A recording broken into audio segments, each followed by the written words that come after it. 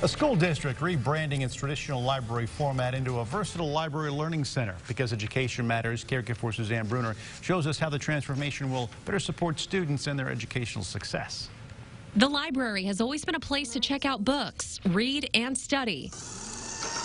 But over time, teacher librarians like Tracy Matthews have worked to accommodate students and ever changing technology. You, you see their confidence level increase because of things that they can learn in here.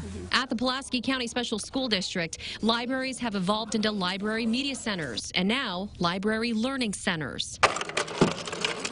It's a place where students can now do collaborative makerspace activities. That can be anything from Legos, puzzles, anything robotic related, um, 3D printing. It's hands-on learning, Matthews says, foster critical thinking skills and boost self-confidence. The district hopes its library learning centers will help with the teaching and learning process. We realize that these are more than just a library filled with books. PCSSD school board member Alicia Gillen says the idea to change the name to Library Learning Center came from their library media specialist. I think the word innovation just comes to mind uh, initially, and it shows just the really the forward progress of our media specialists around the district, uh, wanting to make their space uh, just more friendly and user friendly. With the new state library standards, PCSSD is also changing the name for library media specialists, who will now go by teacher librarians. I talk to the teachers, you know, what are you doing in your classes that you would like to see me talk about with the students? Matthews wants the Library Learning Center to serve as an extension to the classroom,